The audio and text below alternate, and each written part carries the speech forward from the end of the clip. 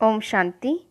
B. K. Surajbhai அவர்களின் தாரணை வகுப்பு ஏப்ரல் இருபத்தி ரெண்டு இரண்டாயிரத்தி இருபத்தி மூன்று பகவான் கூறுகிறார் எந்த ஒரு காரியம் மற்றும் நிகழ்ச்சிகளை நாம் செய்தாலும் அதன் வெற்றிக்கான ஆதாரம் நமது தூய்மை தன்மையின் பர்சனாலிட்டியே ஆகும்.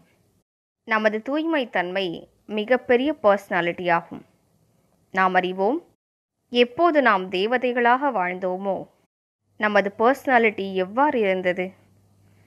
தெய்வீகமான ரூபத்தில் நமக்கு பூஜையும் நடைபெற்றது. அது எத்தகைய பர்சனாலிட்டி நமது பர்சனாலிட்டி உண்மையிலேயே மிக உயர்ந்ததாகும்.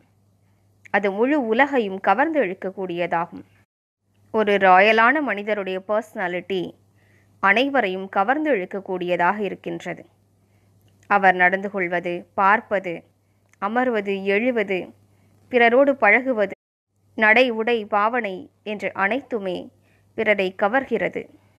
ஆனால் நமது பர்சனாலிட்டியின் ஆதாரம் நமது தூய்மை தன்மையாகும் நமது பார்வை எவ்வாறு இருக்க வேண்டும்? நம்மிடம் யார் வந்தாலும் நமது பார்வையினால் அவர்களுக்கு தூய்மைத்தன்மையின் அதிர்வலைகள் கிடைத்து கொண்டிருக்க வேண்டும்.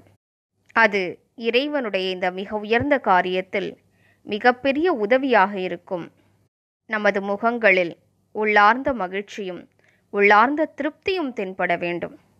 நமது தூய்மைத்தன்மையின் அடையாளமே உள்ளார்ந்த மகிழ்ச்சியும் திருப்தியுமே ஆகும். நமது சித்தமே மகிழ்ச்சி நிறைந்ததாக இருக்க வேண்டும். ஆனந்தமயமானதாக இருக்க வேண்டும். இதயம் எப்போதுமே என்னவெல்லாம் அடைய வேண்டுமோ எதை அடைவதற்காக ஜென்ம ஜென்மங்களின் தேடல் இருந்ததோ அவை அனைத்தும் கிடைத்துவிட்டன என்று பாடல் பாடிக்கொண்டே இருக்க வேண்டும். எனது அதிர்ஷ்டத்தினை நான் ஒளிமயமாக ஆக்கிக் கொண்டேன் ஜென்ம ஜென்மங்களுக்கு தேவையான பொக்கிஷங்கள் எனக்கு கிடைத்துவிட்டன. இவ்வாறு இதயத்திலிருந்து குரல் எழும்பிக் கொண்டே இருக்க வேண்டும். பிரபுவினை அடைந்த முழுமையான திருப்தி தன்மை நம் மனதில் நிறைந்திருக்க வேண்டும். அப்போதுதான் அந்த திருப்தி தன்மையின் ஜொலிப்பானது நமது தூய்மை தன்மையின் பர்சனாலிட்டியாகி நாலாபுறங்களிலும் தாக்கத்தினை ஏற்படுத்தும். அது பிற ஆத்மாக்களையும் ஆன்மீக ரீதியாக கவர்ந்தெழுக்கும். நாம் எந்த ஒரு காரியம் செய்தாலும் எந்த ஒரு சேவைக்கான நிகழ்ச்சியினை ஏற்பாடு செய்தாலும் உனது எனது என்ற உணர்வுகள் என்னால் மட்டும்தான் இதனை நன்றாக செய்ய முடியும். எனக்கு தான் மரியாதை கிடைக்க வேண்டும். பிறருக்கு கிடைத்துவிடக்கூடாது எனக்கே புகழ் கிடைக்க வேண்டும். இந்த சேவை எனக்கே கொடுக்கப்பட்டிருக்கின்றது.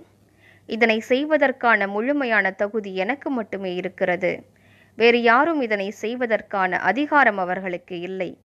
என்பது போன்ற பாவனைகள் இருக்குமானால் உங்களது தூய்மை தன்மையின் பர்சனாலிட்டி டவுன் ஆகியிருக்கின்றது என்பதை புரிந்து கொள்ள வேண்டும்.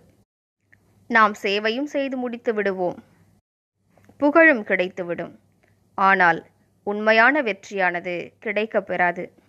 எனவே நாம் அனைத்து வீணான எண்ணங்களிலிருந்தும் சுயநல மனப்பான்மையிலிருந்தும் விடுபட்டு இருப்போம்.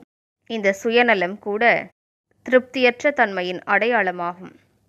சுயநல மனப்பான்மையானது மிகப்பெரிய சூக்ஷ்மமான சிறியதல்ல மிகப்பெரிய சூக்ஷ்மமான தூய்மையற்ற தன்மையாகும். சுயநல மனப்பான்மை பாபாவின் சேவைகளில் மிகப்பெரிய தடையாகும். சுயநல மனப்பான்மையோடு செய்யப்படக்கூடிய சேவையானது புண்ணியமாக சேமிப்பாவதில்லை. ஏனென்றால் அதற்கு தற்காலத்திலேயே பெயர் புகழ் என்ற குறுகிய காலத்தினுடைய பலன் கிடைத்து விடுகிறது. அதனையே பாபா பக்குவப்படாத பழத்தை உண்டு விடுகிறார்கள் என்று கூறியிருக்கின்றார். எனவே வாருங்கள் இன்று முழு நாளும் பயிற்சி செய்வோம். நான் தூய்மை தன்மையின் சூரியனாவேன். மேலும் எனது நெற்றியிலிருந்து தூய்மையின் ஒளியானது நாலாபுறங்களிலும் பரவுகின்றது. என் தலைக்கும் மேல் ஞானசூரியன் சிவ தந்தை வீற்றிருக்கின்றார்.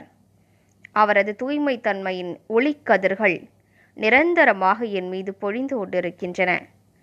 அவை என்னிலிருந்தும் வெளிப்பட்டு நாலாபுறங்களிலும் பரவுகின்றன.